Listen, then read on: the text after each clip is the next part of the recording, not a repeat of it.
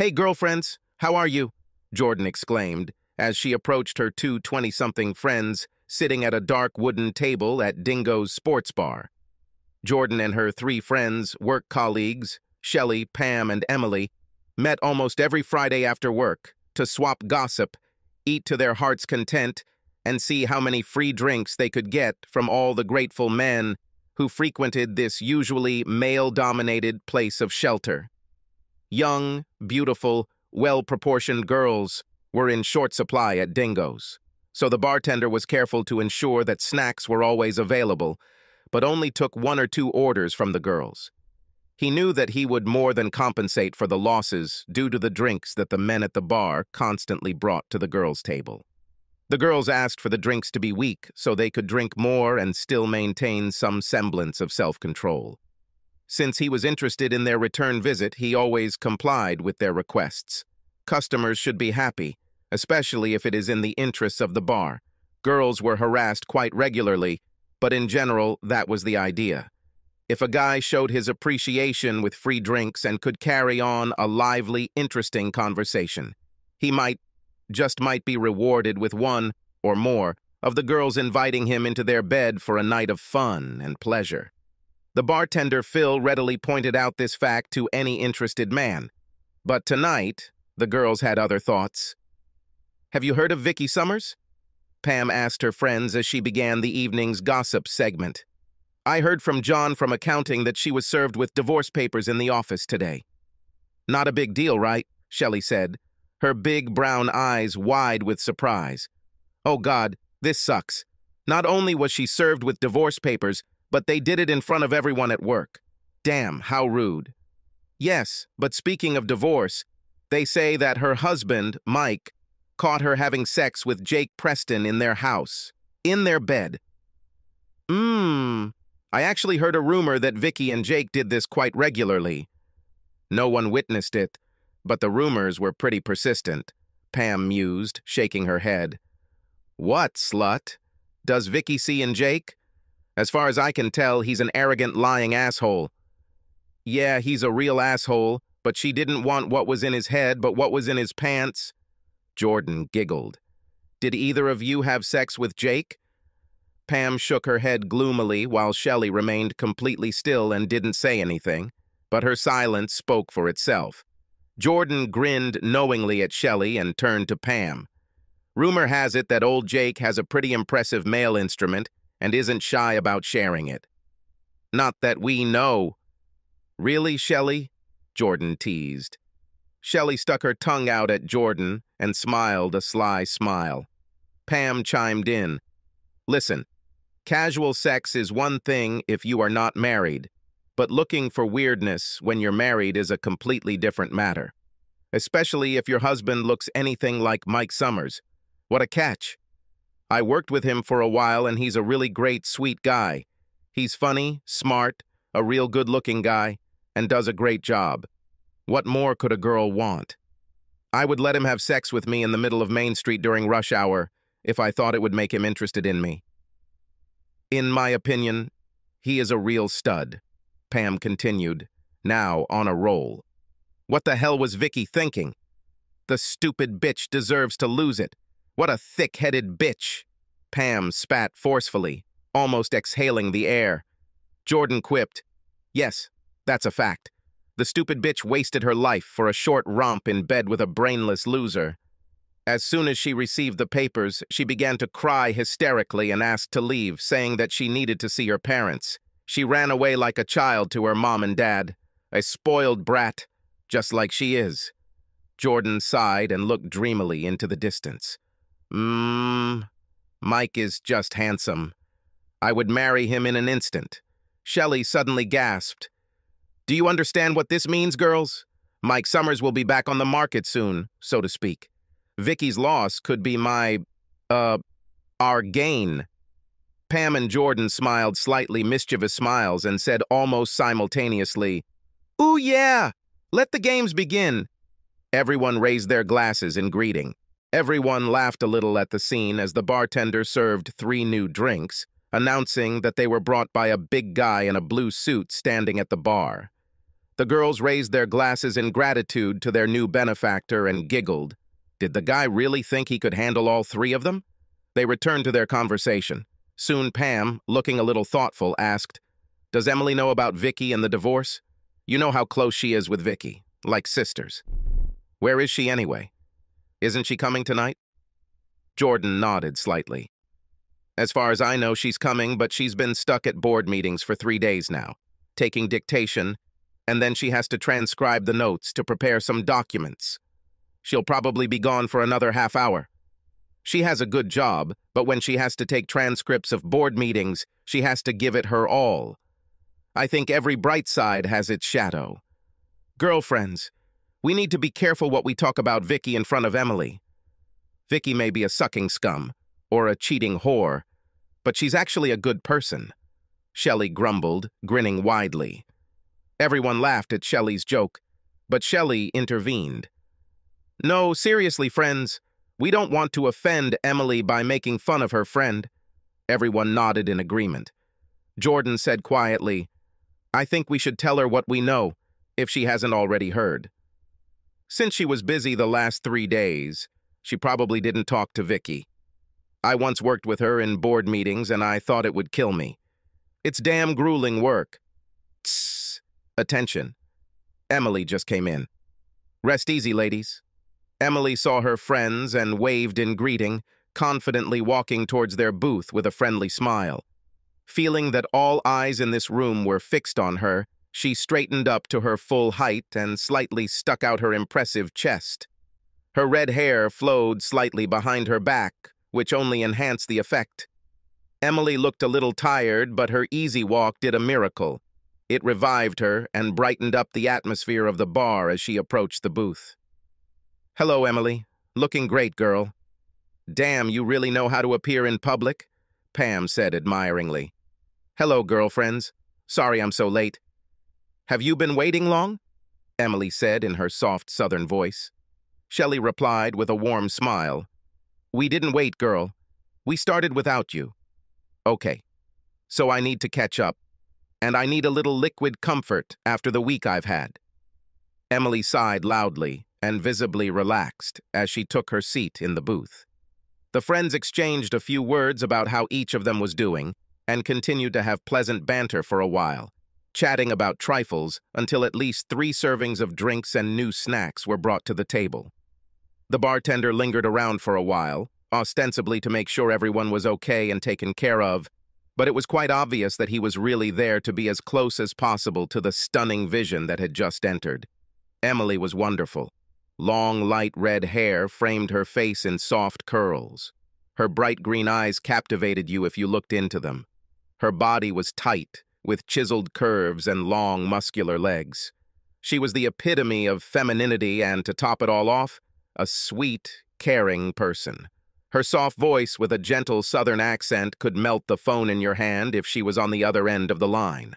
Emily was special, and everyone knew it except her. The bartender responded to her call like a puppy, and she tied him even more to her, touching his hand and saying, Thank you, Phil. You are always so kind to us. You're just a sweetheart.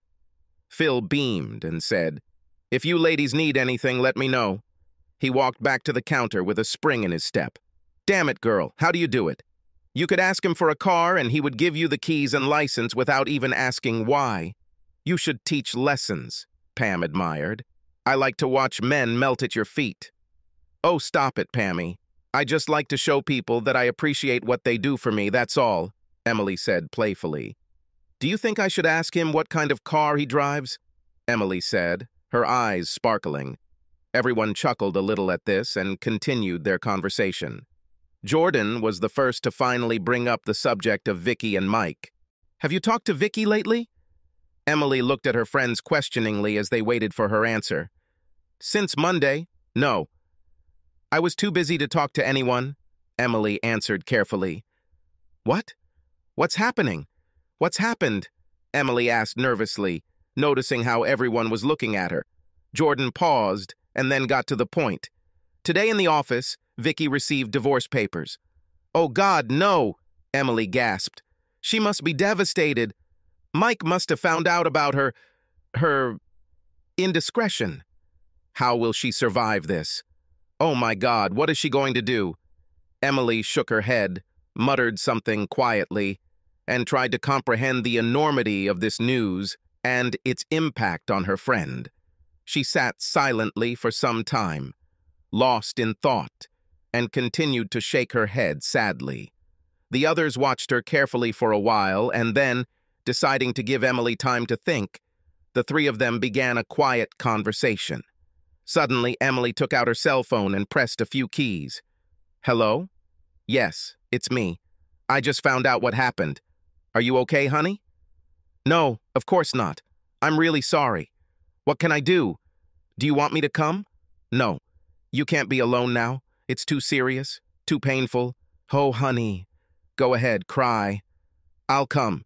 I can be there in 15, maybe 20 minutes. No, that's what friends are for. I will come, and I will not accept refusal. Oh, you poor thing. I'm already leaving. Hold on, honey, I'm on my way. Bye. Emily closed the phone and sighed heavily. She immediately began packing her things. I'm really sorry, girls, but I have to go. I have a friend who really needs a shoulder. How much do I owe? Emily huffed, taking out her wallet. Don't be stupid, Emily. We'll figure it out. You still haven't eaten anything. Just go and take care of Vicky. Give her our love and ask if there is anything we can do to help.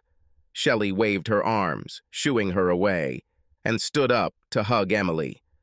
Vicky is very lucky to have a friend like you. You're just a doll, baby. Now get out of here and do what you can. Emily hugged her friends and ran out of the bar, kissing Phil and waving. Everyone present looked after her. The three girls got comfortable and began to discuss general topics, but the conversation tended to return to Mike and Vicky. Half an hour passed unnoticed, under the influence of even more booze. The girls have already begun to feel the consequences. The conversation ebbed and flowed but kept coming back to Vicky and Mike, mainly about how unworthy Vicky was of Mike and how they will all go after Mike once Vicky is history. Pam suddenly straightened up. Did you say something about Vicky going to her parents today? Yes, I heard her say that she was going to her parents when she left the office. She was very upset, Jordan said, wondering what Pam was thinking. I know that Vicky's parents live in Tampa, Florida, which is five or six hours away. If Vicky went to her parents, Emily couldn't go to hers, Pam thought. There was silence in the group for a while as their alcohol-soaked brains made sense of and processed the new information. Shit! She's not going to help Vicky. She's going to meet Mike, Shelley suddenly said. Shit! spat the other two. Phil, please give us the check. We need to go. Somewhere on the border of sleep, music was playing. Emily finally found the source of the sound. The intruder device turned out to be her cell phone, and she was having a hard time understanding why it was playing music in the middle of the night. This stupid phone was calling. Two inscriptions appeared on the screen. The time was 3.17 a.m. and caller ID. Vicky Summers is calling. Hello? Emily answered hoarsely, barely waking up. Don't say hello to me, you treacherous slut. Not even a day has passed, and you are already trying to seduce my husband. I thought you were my friend, you sneaky bitch. If you touch my husband, I swear I will shoot you dead, you... You vicious, trashy slut. Vicky spewed fire and venom in her signature West Texas twang. Emily immediately became wary and decided to ignore Vicky's tirade. Well, hi, Vicky. It's very nice of you to call, but I have to say that now is a very bad time for me. In case you haven't noticed, it's already 3 in the morning, and I've had a very stressful and tiring week, so I'd like to get some sleep.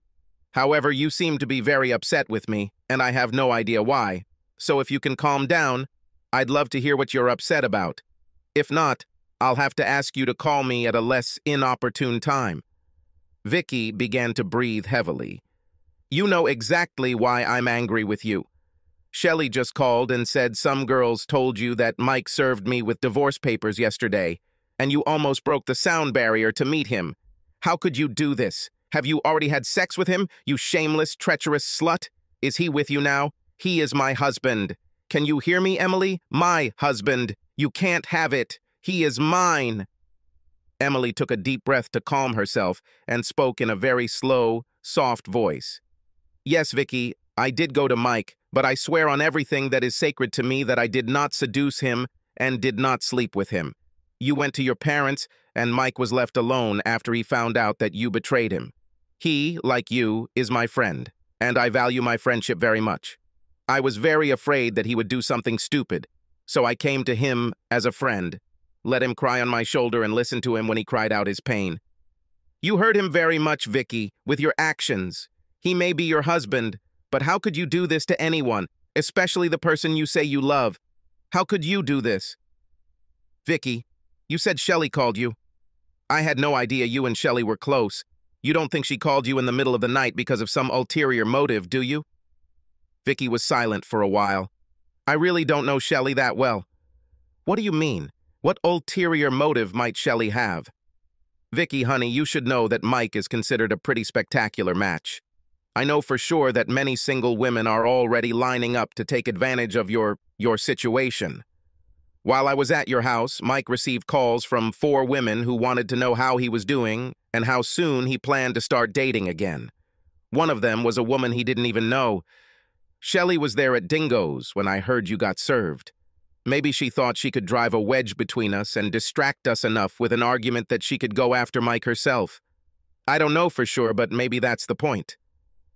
Damn, Emily, suddenly I can't trust anyone. Vicky shook her head sadly. Mmm, Vicky, perhaps you should watch how you pronounce that word, trust.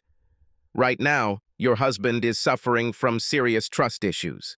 Recently, he discovered that he could not trust his own wife. For the record, Vicky, I promise you that I will not pursue Mike while you two are married. I will comfort you and him, be a friend if anything is needed, and hope with all my heart that you can mend your relationship with him and move forward together. But Vicky, you should know, and I will be as honest as I can. If Mike becomes a single man again, I will use all my tricks and every ounce of energy to get him to pay attention to me, just so you know. Well, thank you for your honesty. Vicky sighed dejectedly. Why did he need to file for divorce? I just don't understand what the problem is. Well, did I have sex with Jake? Just think. It was just a game. A little fun. Sex. And what? Emily sucked in a breath of disbelief. Vicky, are you out of your mind? You can't be that stupid. So what? Oh my God, girl. You brought a stranger into your home, to the house you share with your husband to your bed, to the bed you share with your husband, and she invited him into her body. Your body, which you allegedly promised to use exclusively for making love with your husband. You did it behind your husband's back while he was out of town. Obviously, you didn't think Mike was okay with it, otherwise you wouldn't have been sneaking around. Just playing? What needs to be done for you to see this as a serious problem? Maybe if you had Jake's baby, or maybe if you tied Mike up and forced him to watch. Shit, Vicky. Be honest. At least be honest with yourself. And with me. And further, if you really think this is nothing special, then explain to me the purpose of this telephone conversation. Can you do this, please? You called me in the middle of the night to yell at me and threaten me because you thought I slept with your husband. Explain this shit to me. According to you, sex on the side should not be something special. You don't even believe the nonsense you're spouting. See? Now you've made me forget all my manners. You disgust me so much, Vicky, that I'm ready to spit. Poor Vicky. Her husband divorces her because she acted like a brainless slut. Damn you, Vicky. You deserve to lose him. Damn it! How can I sleep after you made me so angry? You cheated on your husband, Vicky, multiple times from what I hear and you dare be willing to commit murder because he possibly slept with someone else. Explain this logic to me, okay? You can't, because she's not there. Damn you, girl, you're just pissing me off. You better watch who you're threatening, Missy. If you come at me with a gun, I swear it will take a team of surgeons to remove that gun from your ass. I'm swearing like a drunken sailor here, but I should be a southern lady. My grandmothers are spinning in their graves. I swear I'm just furious. Emily seethed with anger, finishing her little speech. Vicky now began to cry and lament. I know, I know. You're absolutely right. I'm a damn idiot. I just didn't want to admit it. Oh my God. I lost him, Em. He was the best, and I lost him. How can I look someone in the eye? How could I be so stupid? I don't even know how he found out, but he told my dad that he had the pictures and everything. Now he will never take me back. Everything is over. Oh, Vicky. I'm really sorry, Emily said sincerely, but she also shook her head at the disaster her friend had brought upon herself. Emily decided it was time to continue the conversation. So you're saying your dad talked to Mike? Yes. When I came to my parents and let them look at the divorce papers, my dad called Mike and started screaming at him to explain himself. Dad was very angry until Mike told him that he had video and concrete evidence that I was cheating on him. Dad fell silent, apologized for both of us, and hung up. He looked at me as if I were some kind of two-headed space creature, and since then he hasn't spoken to me again. I still don't know how Mike got the video of us. Hmm, I think I can answer your question. Mike told me that you were communicating with him on the internet, and you seemed distracted. He said that you were wearing a robe, which you usually only wear to cover up your special underwear for the full visual effect later. After you left the network, he became worried and became suspicious, so he logged into your laptop and began controlling it remotely. With the laptop lid flipped open, he was able to access the external webcam he bought specifically for the purpose of talking to you. He restarted the video chat program and controlled everything remotely from his hotel room. The laptop was on the dressing table in your bedroom, so he could see and hear everything. He set his computer to record the entire session. Oh, crap! I didn't know he could do this. Oh, come on, Vicky. Your husband is an equipment manager at a large law firm. It monitors every piece of equipment that has a power cord or battery in their office building. He's like a computer genius. Of course he can do it, he also said something about a policeman appearing at the door. What was it? Oh, a policeman came and said he had a report from a neighbor that someone was sneaking around the neighborhood. He asked if he could come in and look around. I let him in, he looked around, and I introduced Jake to him. I told the officer that Jake was an invited guest. Uh-uh. Did their acquaintance take place in your bedroom? Yes. Why? Well, that means Mike has confirmation from the police officer and his shift report of the time and date, and the officer will actually appear on the videotape if Mike needs it for proof. This won't mean anything in divorce court, but it might be important if you guys have a prenuptial agreement or something like that. Oh, crap! Emily! I'm completely screwed! Vicky screamed. Mike works at a damn law firm. Of course we have a damn prenuptial agreement. Crap! In case of proven infidelity, I will receive nothing at this stage of our marriage. Crap! My father will be furious. He was determined that Miki would lose everything if he insisted on a divorce, and then he would be more willing to stop the process and forgive me. I'm even willing to bet that it was Mike who called one of the neighbors to call the police. Oh my God, Em, I definitely lost it. There was a long pause as Vicky considered her situation. Um, I have to go. I don't think I can talk anymore. Look, I'm sorry I yelled at you, and thank you for being my friend and listening and everything when I needed it. Now I know what I have to face. Thank you, Emily. Good night. Good night, Vicky. Take care, honey, and I hope everything goes well for you. Call me if you need me. Bye. After the call hung up, Emily looked at the phone in her hand, shook her head, and rolled her eyes. Stupid, Stupid, spoiled bitch. She then lay down on the bed and tried to control the adrenaline rush and fall asleep. Sleep did not come because thoughts of Mike kept popping up in her mind. Emily Summers. Mike and Emily Summers. Mmm, that sounds so good. Mike, baby, once I hold you, you won't stand a chance. If only I can stop myself from pouncing on you before your divorce is final. After all, a girl must have her principles. Hang in there, Emily. Patience is a virtue. Finally, she fell into a comfortable, deep sleep.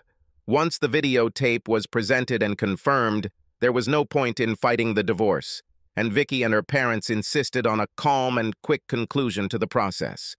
Vicky moved to Tampa and went to work for her father. Her father's family ranch in West Texas was leased for grazing and was home to several active oil and gas wells.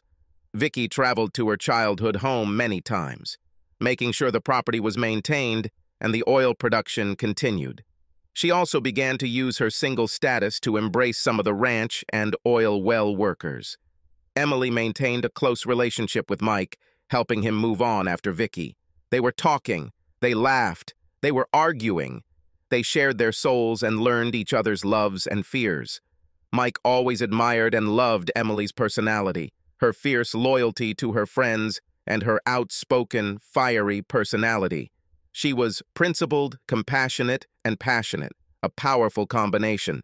Emily insisted that there would be no physical union while Mike was still married and for a decent four-month period after the divorce became final. Three weeks after Mike and Vicky's marriage was over, Emily was awakened by frantic knocking on the door. It was just after three in the morning when she opened the door and saw Mike in a raincoat and cartoon pajamas. She was stunned and barely had time to say, Mike, what's wrong with you? As Mike took her into his tight embrace and his tongue began to taste her tonsils. She tried to take off his coat without letting go and whispered hoarsely, I can't wait any longer either. They made love the first time on the living room floor and twice more before sunrise in Emily's bed. From that morning, they became an inseparable couple. Mike and Emily Summers. There really is something pleasant and solid in this word. Subscribe to our channel so that your second chaff doesn't cheat on you and go ahead and listen to the next story, because this story is nothing compared to the next one. If you're under 18, don't even think about listening to the next one.